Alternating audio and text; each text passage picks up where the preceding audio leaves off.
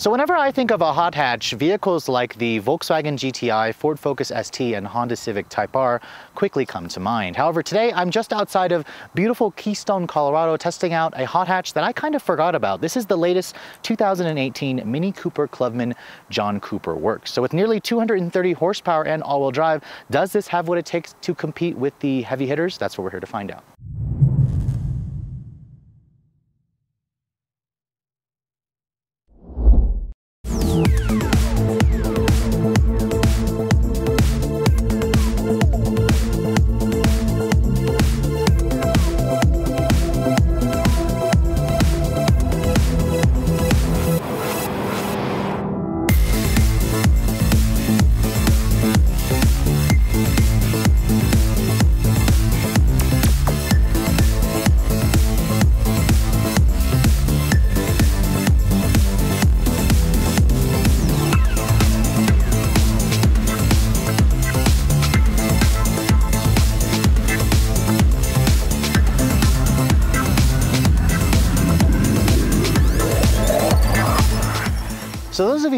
Bit unfamiliar with the Mini lineup, let me try to break it down for you in a simple term. Everything is basically called the Mini Cooper, and then the third name kind of shows where it falls into the lineup.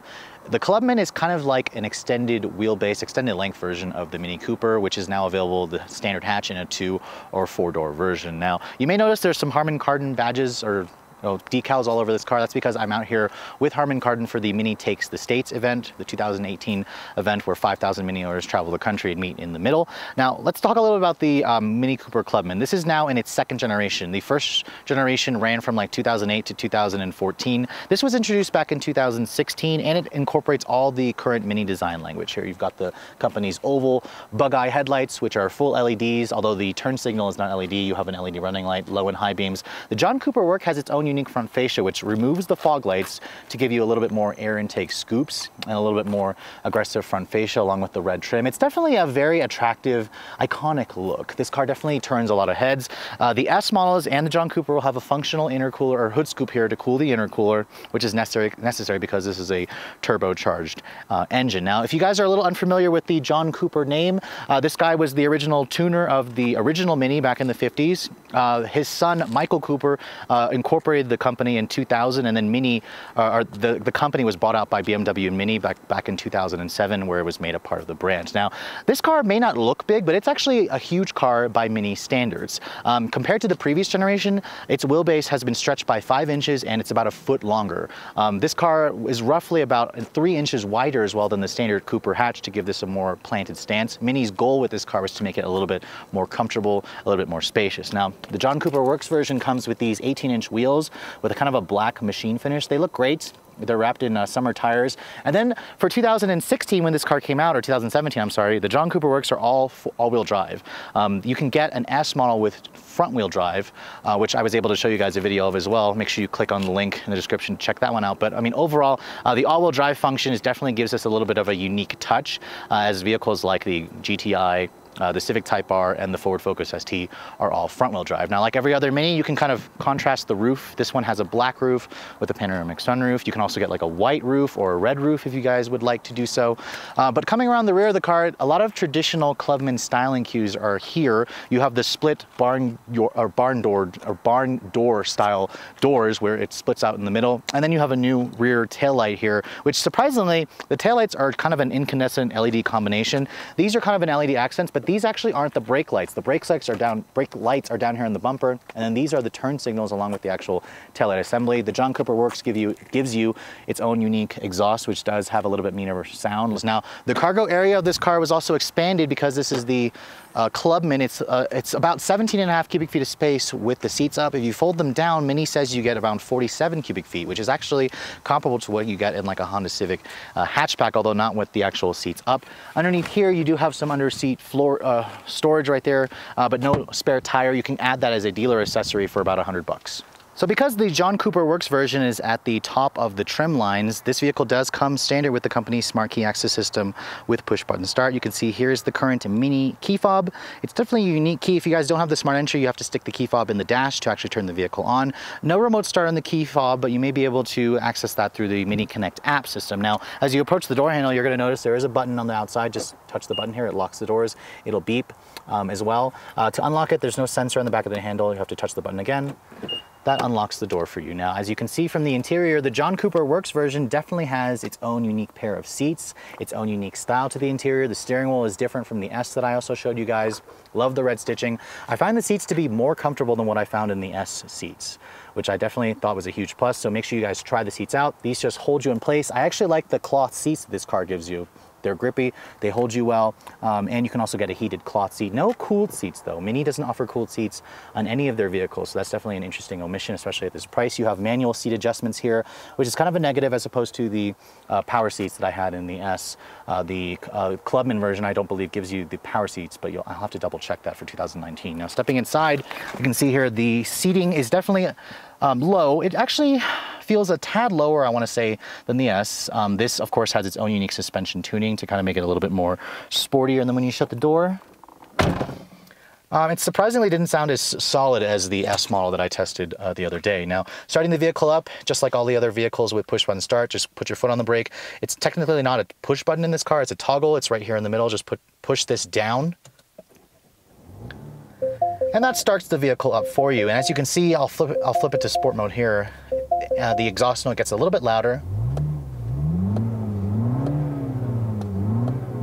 This version definitely has a much more aggressive, deep sound to the exhaust. So I, I, like that immediately as soon as I get into this interior. Now looking at the rest of the design, you can see a lot of the current Mini design themes, or at least the past Mini design themes. There's lots of circles in this interior. A circle here, a circle there. I mean, that's kind of what Minis have always had in the past, um, but I'm glad to see that Mini has kind of worked to make this interior a little bit more ergonomically useful uh, and easier in your day-to-day -day life. Now regarding the materials in this car, you can see uh, the dash is a soft touch material here on the upper portion, although I'm surprised it's not like a stitched portion. I like this kind of textured aluminum look trim here, going with the piano black plastic and some of the chrome in here. There's an LED light here that kind of adjusts based on whether you're turning a knob, which is a pretty cool, pretty cool thing. Uh, that's what Mini also includes in the S model that I showed you guys uh, before. Uh, the door panel here is also soft touch, although it's not as soft as I'd like it to be. There's a chrome door handle here with the the button kind of integrated into this handle to lock and unlock it.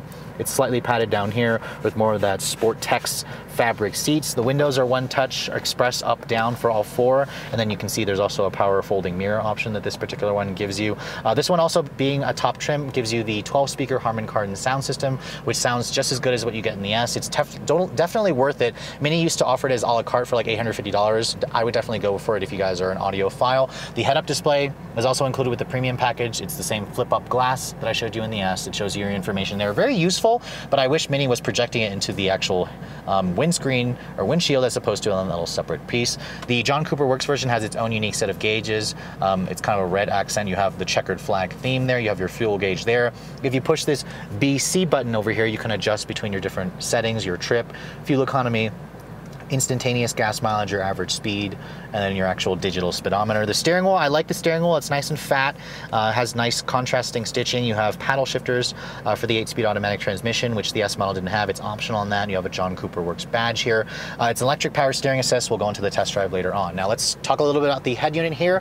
When you first put the vehicle into reverse, you can see it's got a BMW quality uh, reverse camera, which is great. You also have front and rear parking sensors, which is great as well. Um, if you guys need, you know, the assistance when you're parking. This is the upgraded 8.8 inch uh, head unit, which is technically a version of BMW's iDrive. You can see here, as opposed to the previous generation car, which had like a little tiny chrome stick that kind of toggled around, they've given you basically the iDrive function with the touchpad here, where you can write on this, or you can also use this as a touchscreen which is just like the iDrive. This is the home screen here, all your different sources. Uh, you can see there's media, communication for your phone, notification, Mini connected, My Mini for your accessing your settings, and then navigation. Let's go to the navigation map display here. You can see this is the uh, Mini navigation head unit map. It's very similar to what you get in BMW's iDrive, kind of dumbed down a little bit in terms of its graphics, but it still looks pretty impressive. It works like a tablet where you can pinch and you can zoom if you don't want to use the actual controller. You have actual radio preset buttons here. Your volume knob is right here. No tuning knob, you have to use these little buttons here I'm annoyed that this kind of doesn't stay upright, kind of like a Volkswagen. It's something you have to kind of get used to. Um, but I mean, overall, the system works pretty well. You do have features like Apple CarPlay in this car, which is optional, um, but it's nice that Mini includes that. Uh, you have a USB port down here where you have to plug in your phone. No wireless CarPlay like you get in the BMW products. But overall, the head unit, I kind of wish that it was a little bigger. Surprisingly, at 8.8 inches, it looks small because it's in this big circular bezel. Uh, I know it's a Mini design theme, but I kind of just wish Mini would get rid of it and give us like a tablet style screen that sticks up, which is kind of where everyone's going. Now down here, dual zone climate control, which is nice. Um, you have your toggle switches here for your auto start stop, your parking sensors, your sport mode is right here, or your drive mode is here. It goes between a mid, a normal, a green setting, or you can also go up to the sport setting where everything kind of gets sharpened up. Uh, your engine start stop button is there, your heated seat button is here. Of course, you have three level heated seats, no cooled seats. A little bit more storage down here. Uh, you have two cup holders. This controls the eight speed automatic. It's a traditional shifter, very easy to use. If you guys go for the manual, the area here doesn't change. It literally just changes the actual shift knob here and gives you the six speed pattern. Over here, you can see electronic parking brake, your iDrive controller over here, although the buttons don't feel quite as high quality as what you get in a BMW. I wish this was a little bit softer. It's like a leatherette Sensatec material. You have a wireless charging that this one gives you where it fits your phone very nicely, but there's also two levels of storage. There's another USB port in there that allows you to charge. Above you, there is a Pano sunroof, as you can see. Um, it lets in a lot of light. It only opens up over the front, but what I really like about this car is you can open this up and then you can close this to kind of you know shade you a little bit from the sun if it's a little bit too intense. Love the seats in this car with the suede and the Sportex. It just feels really good, comfortable. You can also adjust the thigh extender here if you guys like. And then the glove compartment, it's a pretty decent size. Um, it's a lot lined with felt, but the door itself is damped. But I mean, overall, the interior of this car, definitely I love the John Cooper Works touches. It feels pretty roomy in here with good visibility, great tech. Um, and if you guys like the quirky design of Mini, you're definitely gonna like a lot with this interior. So the purpose of a hot hatch is being able to use it uh, to carry your friends occasionally when you need to actually use the back seat. And thankfully, the uh, Mini Cooper Clubman definitely gives you a usable back seat. Uh, compared to the standard Mini, this car is a 5-inch stretch in the wheelbase, so you do see more legroom in here. And then with the sunroof here that gives you a little bit more light. It definitely brightens up the cabin. I'm five foot seven. Um, there's pretty good foot space. There's a pretty good amount of legroom. Uh, there's a pretty good amount of storage in here. You have two um, map pockets here. Mini gives you some rear seat vents, and then you have a nice little armrest here that folds down to give you some system uh, cup holders here. Now, a couple things I'm not noticing, I'm missing that I'm noticing that are missing. No heated rear seats, uh, but that was kind of expected. Although at this price point, I kind of expected me to include that. But overall, the back seat is definitely uh, useful. So under the hood of the John Cooper Works Clubman, you're going to find the hottest version of the two-liter twin-powered turbocharged four-cylinder with direct injection. This motor is a BMW engine. It's the same engine that you'll find in the BMW X1 and the X2, and it makes the same output as the BMW motors: 228 horsepower and 258 pound pound-feet of torque. Now, if you're keeping score, this is a 20 horsepower boost over the old John Cooper Works and like nearly 60 pound-feet of torque. So these are significant improvements, and it's also a nice healthy bump over the 189 horsepower that I showed you guys in the S version. Now, this particular one only comes with all-wheel drive, which is great. It does make this car heavier. It weighs around 3,500 pounds. You can take your pick between a six-speed manual or the eight-speed automatic transmission that my tester has. And then with the fuel economy, it's actually a little bit better with the automatic, rated at 23 in the city, 31 on the highway, 26, 26 combined. Make sure you put premium. It actually gets pretty much the same gas mileage as the S. So let's get out on the road and see how it all performs, shall we? So when I drove the Mini Cooper Clubman S, I'll admit I was a little disappointed with the acceleration of that car. However, the John Cooper Works version is the performance one designed for enthusiasts, and with an extra like 40 horsepower over the S, let's see if uh, that 40 horsepower really makes a difference.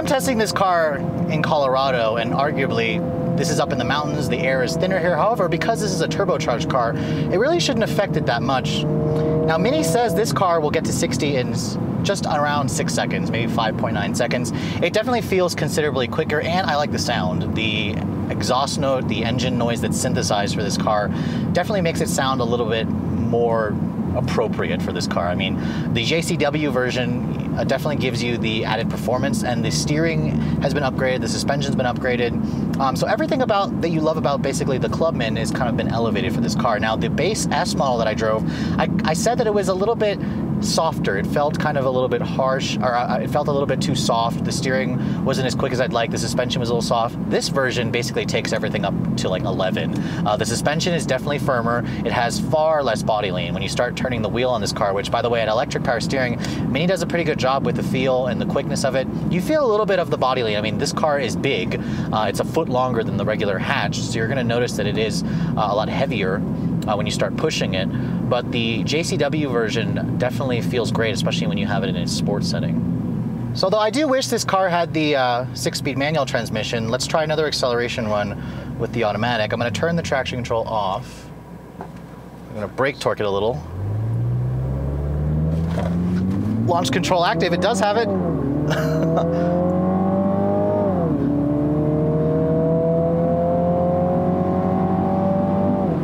okay, I'm pretty impressed. Um, it definitely has firmer shifts, and then when you brake torque it and let it, the let the gas go or the brake go at around 2,500 RPM. It does have a little launch mode, and then with all-wheel drive, there's no drama. It just kind of goes. Now, it definitely doesn't have the you know the speed or ferocity of what you're going to get in like a Subaru WRX STI or even the Volkswagen Golf R with the DSG transmission, but it is pretty quick and it, it is much better than what I tried out in the uh, regular S version. Now, let's try to put the transmit or the suspension back into its normal setting um, because this car does have adaptive dampers. Now, I am noticing with the bigger 19 inch wheels on this car. Um, the ride quality also suffers because of the stiffer suspension.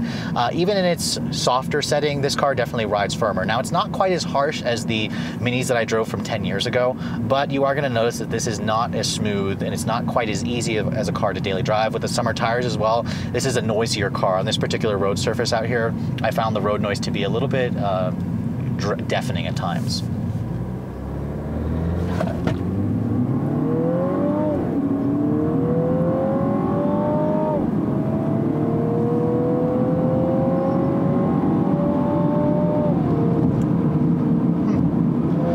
Eight-speed automatic in this car also does a really good job with um, the gear changes. I mean, it has it shifts quick enough for me. It's not a dual clutch by any means, uh, but it does have those like crackles and pops when it when it upshifts. So that's really a great thing. The exhaust also makes a pretty decent amount of burbling noise when you have it in this sport setting here. And then when you're kind of just tootling along, whenever you put your foot down, it's pretty quick to drop a gear. And then when you put it back into its normal or comfort mode, it's also relatively good at staying quiet and smooth because this is a traditional torque converter automatic. But Minis are always about the handling, and this car really starts to shrink and remind you, or reminds you why Minis are Minis, basically, why they have such a cult following. The handling of this car is really good. I mean, the steering is electric, but it has great weight. The car doesn't have as much body lean as the S model, and you just feel like you can attack some corners in this car uh, a lot faster, and you don't really feel like you're going all that fast until you kind of look down at the speed and you're like going, oh crap, I'm definitely speeding in this car. But I mean, the seats, I find that to be comfortable. There's great visibility as well good view out of the front. Uh, view out of the side mirrors is great, although the view out of the back from that split window is weird. You have, it takes a little bit to get used to it. Uh, this car does not have any of the driver assistance stuff, so no blind spot monitoring or cross traffic alert, just parking sensors and then the backup camera. Uh, you guys can option that in as a 1250 option if you guys want that. But I mean, overall, if you're going to daily drive the JCW version, you're just going to have to put up with the road road noise as you can hear, the slightly firmer ride, which can be mitigated a bit when you guys put into its normal setting. Unfortunately, the road noise doesn't go away. But I mean, overall, uh, as a competitor and as a hot hatch, this isn't really a hot hatch for me because it feels a little bit more special. It feels a little bit more, I guess, unique versus a hot hatch. It's got the premium feel of a Volkswagen Golf R, um, but it doesn't have that staleness of a Volkswagen as well. It feels a little bit more unique, uniquely British. I mean, that's what the, the Mini brand really delivers. So after spending the day with the John Cooper Works version of the Clubman, I've come to the conclusion that most people would probably not cross-shop this with something like a Civic Type R, a Subaru, Subaru WRX STI, or a Ford Focus ST. That's because the Mini Cooper Clubman John Cooper Works is a little bit more of a premium feeling brand. As you guys saw, its interior definitely has a lot of unique style and quirks to it. It's got the performance that matches that of like a Volkswagen GTI or a Ford Focus ST, but it kind of gives you that all-weather grip uh, and it wraps it in a style that definitely um, makes this vehicle stand out a lot more when you're comparing it to you know everything else on the road. Now, what I would compare it to favorably is probably a Volkswagen Golf R. Um, although the Volkswagen is definitely going to be quicker, it offers a similar level of premium feel that the Mini does. Although if you look at the actual character of this car, I like the way the Mini sounds. It's got a little bit more of an aggressive note and the handling and dynamics of this car is definitely a little bit more performance oriented than what you get in the Golf R. So if you guys are looking to actually purchase one of these, what's it gonna cost to put a John Cooper Works version of this car in your driveway? Well, Minis, as you guys know, are expensive and the John Cooper Works version is the top of the stack. This is the most expensive trim of any Mini product. And this car starts at $36,400 for the John Cooper Works Clubman. That's like roughly a $12,000 increase over a base Clubman with the base three cylinder turbo, but that's probably not the one you want. Now, this is a 2018 model, but because I don't have the window sticker on me, I'm gonna go off of 2019. Mini offers three different trim levels for 2019 since you can buy one of those now. There's signature, or there's classic, signature, and iconic. This one is kind of based off of the iconic trim, which starts at $44,900. Now, in terms of options, this one has the automatic transmission. Um, this car basically comes with the premium package, which gives you the LED headlights, the Harman Kardon sound, the head-up display. You can also get a driver assistance package that rolls in adaptive cruise. This one, as it sits, is around $45,000 which makes it a stupid amount of money. And it's probably one of the reasons why enthusiasts don't look at these necessarily as a hot hatch. However, if you can kind of look past the price and you look at the overall premium experience, the style that the Mini brand kind of offers you, it's definitely worth a look if you guys are looking for a vehicle like this. But I hope you guys have enjoyed my full overview on this 2018 Mini Cooper Clubman John Cooper Works. If you're also looking to see the latest cars I'm testing, make sure you follow me on Instagram at redline underscore reviews, like us on Facebook, and as always, please keep subscribing to the Redline Reviews YouTube channel for all the latest reviews. Thank you so much for watching, guys. I'll catch you all in the next video.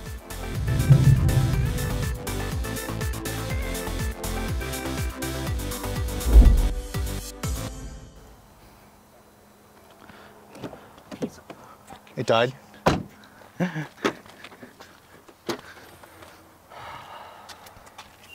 Ow! Christ! What'd you just do? I hit my head on that. Ow, Are Jesus. Okay? Are you serious? Ow, God. It does blend in. Just like go get the battery. Ow, Jesus. Let me see if you're bleeding. Oh. No, you're not. Okay. It, like I hit my nose on it, but it's like, ow. Christ. Stupid spoiler.